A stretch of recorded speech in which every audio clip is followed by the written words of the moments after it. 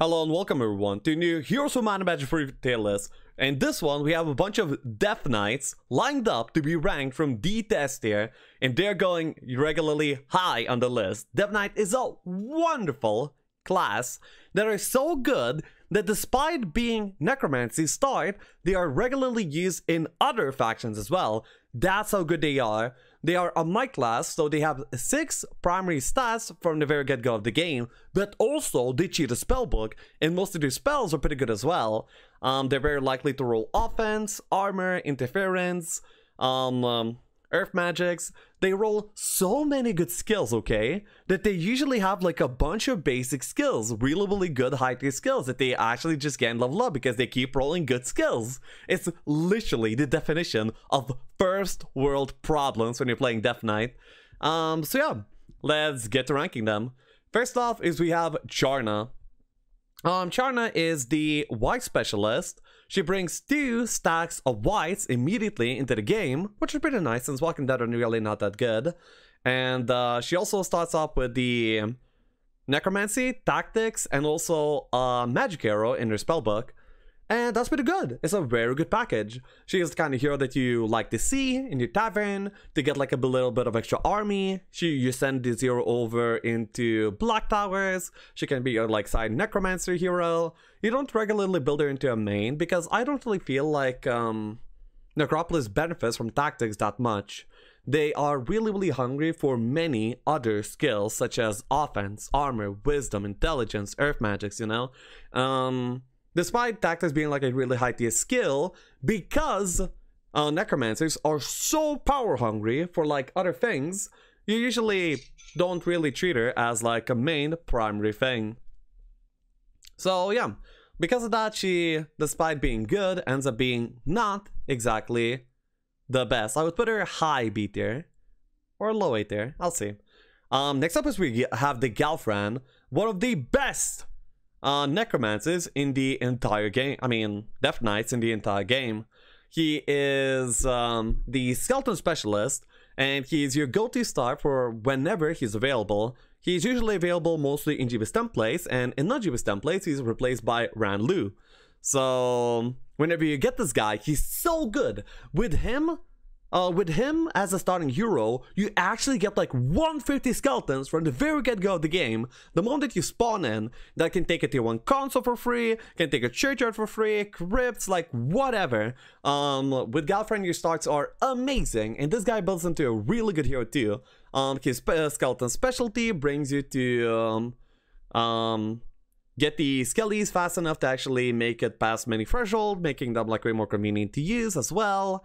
And yeah, it's really, really great. He starts off with the shield spell, which is not the best, but honestly it's a decent spell. Um, having to roll for one less uh, good spell in the tavern is somewhat decent, you know? I mean, not the tavern, the mage guild, sorry.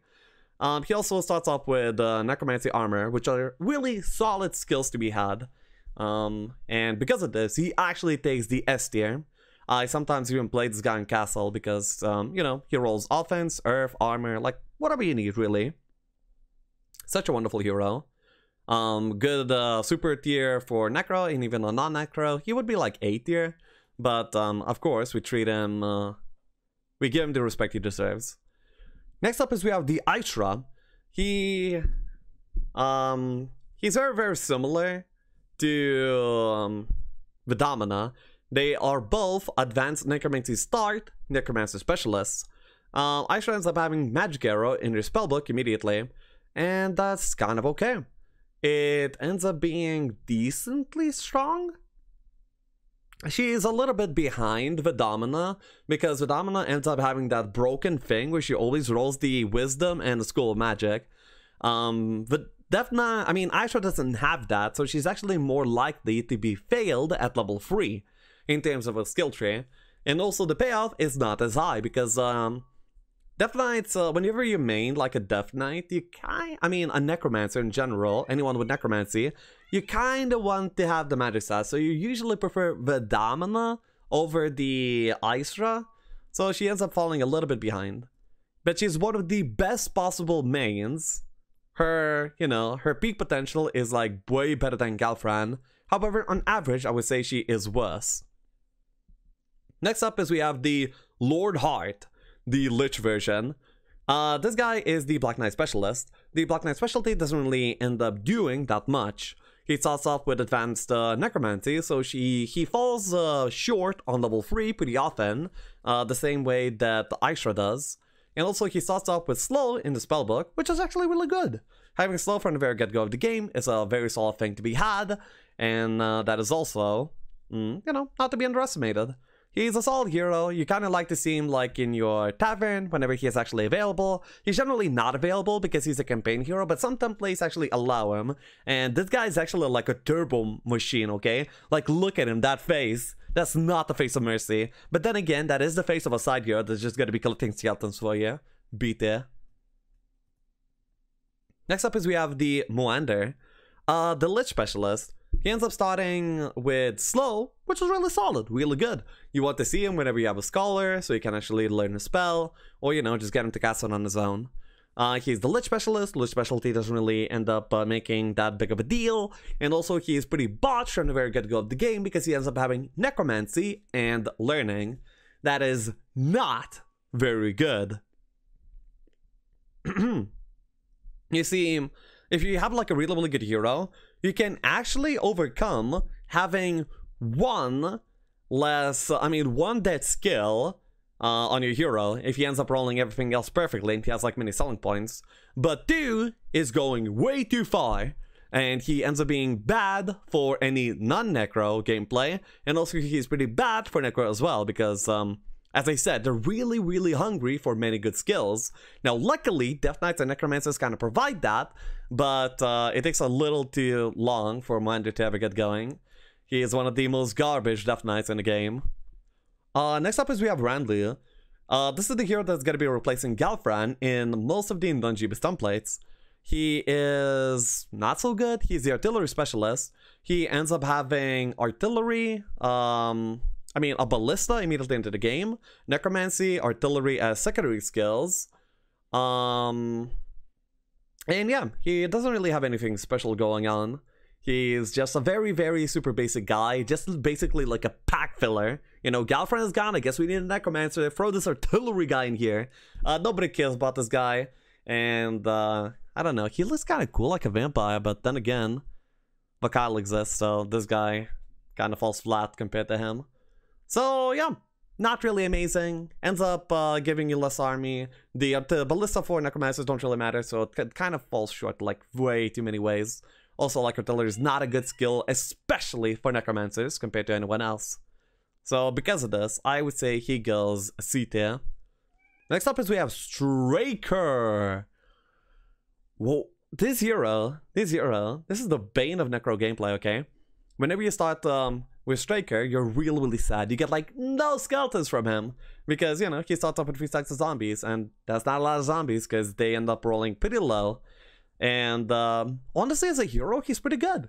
He has in the necrom I mean necromancy and interference start, so he can build into a really powerhouse late game main, like the kind of main that would destroy any other main, you know, like the actual late game superhero.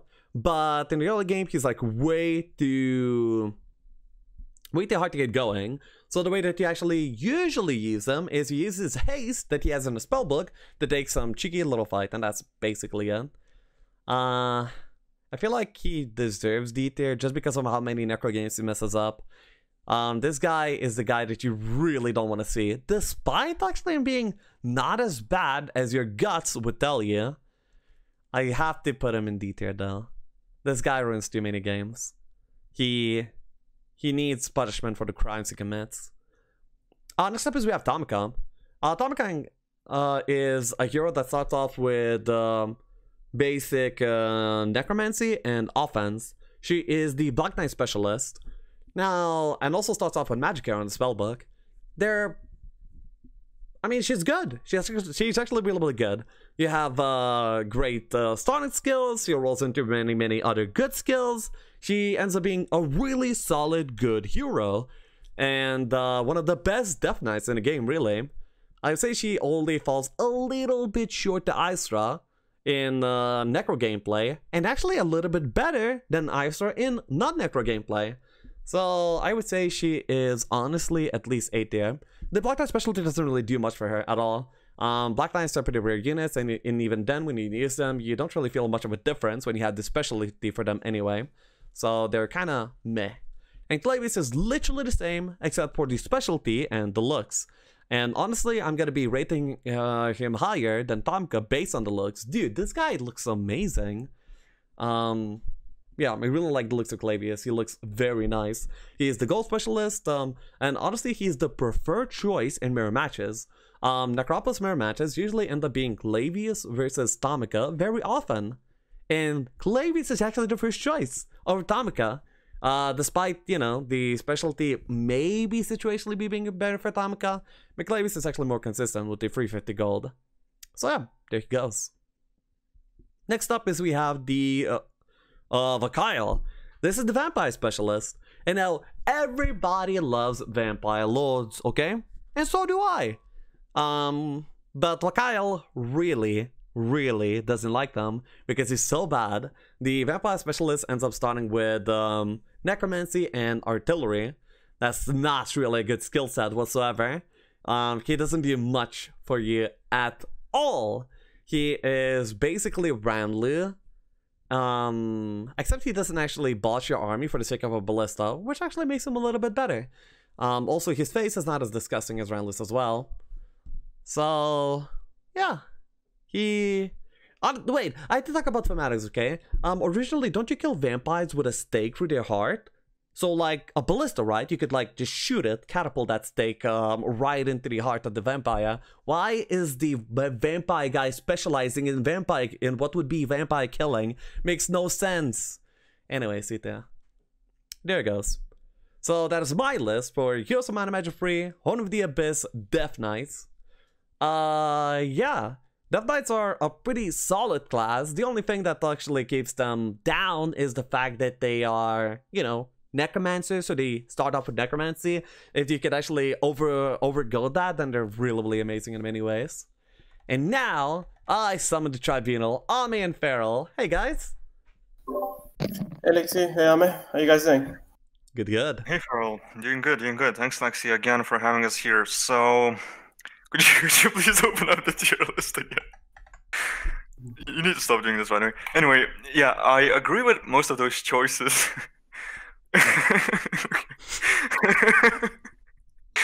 okay. Ame, are you okay? Feral, you go first. All right. Well, well, Ame tries to to get a little bit more mature. I'll try and go first. So, a couple of things I wanted to point out. Just firstly, to add to to Galthran. I'm not sure if you mentioned it, but he starts off with the shield spell in his spell book um, from the beginning of the game. Yep. And I think that's way more impactful than you might think, given that you have 100 plus skellies to start off with. Mm. Damage output really isn't a problem, but that shield actually helps you to conserve a lot of skeletons in the early fight, which is great. And he starts off with Armorer, and Armorer is one of the less likely might skills that you can pick up as a Death Knight, so that just makes him even more insanely Yeah. good. Very Um, consistently the top tier skill trees, right? Mm. Yeah, that's, so I think with this guy. he. I mean, he's without doubt the best in this list for me, but I think he's even better than just one tier above the other. He's really, really good. Yeah. Um, and then the, I definitely agree with what you're saying about Straker. I think if you're playing Necro, assuming you start off with Galthran like most most do, Straker might be the worst possible hero in the entire game that you can see in your tavern. Yeah, Um, definitely, yeah. and so it can be very frustrating to see him. Yeah. And then, in terms of uh, Isra, I'd really love to hear your thoughts on this, Lexi, because you kept referring to Isra as a female. How on earth is that portrait female? Uh, look at that l- nice long hair, right? And that uh, Okay. feminine skull. Guys, I hate to cut you off, but they all look kind of disgusting. What? look at look at them. He's the boss! Whoa, whoa, They're all whoa. literally dead. Like they're all literally dead. What you're about, banging okay, them, what are you about doing? Lord Haart? What about Lord Haart? Lord Haart. He looks, dude. His eyes are red. Like He's a Terminator! He's gonna fuck your ass! Cannot Okay, argue Lex. that logic. Okay, okay, I'll, I'll give you the Lord Haart, but the other ones, honestly, like, don't want to get a blowjob from any of these. So, anyway, yeah, um, I feel like you guys have something for Duff Knights, but I'll just ignore that. So I'm just gonna point out Straker does start with haste, like you said. So I don't think he's the worst. Like there's there's truly worse, like the ones with Eagle Eye specialties and everything, you know. So I feel like he would go to the last of C tier. Feral, would you agree with that? No, I'll still put him at the lowest tier just because he has the ability to completely ruin your game if you get him in your tavern early. Haste is great, I agree, and it's brilliant for, for the Necro town in general. But given that he has such a high potential to completely destroy your entire game if you see him, I I'm happy with him being as low as possible. That's yeah. only if you tunnel vision. Like if you get him later on, you know, he could still be pretty useful as a side hero. I, I agree he, he could be pretty useful as a side hero. But if his best selling point is potentially useful as a side hero, that's not a very good selling point in my mind. Look okay, using that logic, then, sorry, uh, Lexi, just one point. Yeah. So, what about Isra and Clavius? They both have like magic arrows. Like, sure, Clavius, I can understand offense is useful, but what about Isra? She has such a, a, huge risk of getting useless skills because she starts with advanced necro. The only way she's good is if you are playing necro. What about the other sounds? Uh, yeah, yeah, no, then, yeah, then she actually falls uh, flat. I would say Clavius is better than Isra in non-necro gameplay. However, I really do want to respect the absolute dominance that an Isra in late game would show. Can't argue with that. Yeah, I agree with that. If you're not playing Necro, Isra is not a good hero for you early, but late game can be great. So yeah, I agree with that. Hmm. So yeah, I guess that's it from us, yeah. Thank you for the input from the tribunal. Um, thank you for joining as always, I'm Feral. Nice to have you here. See you guys. Yeah. Ciao, ciao. Catch me live on Twitch. I stream every day. And subscribe to YouTube for more um me, my tier list, and the tribunal action tier. So, ciao, ciao. I'm the most important one.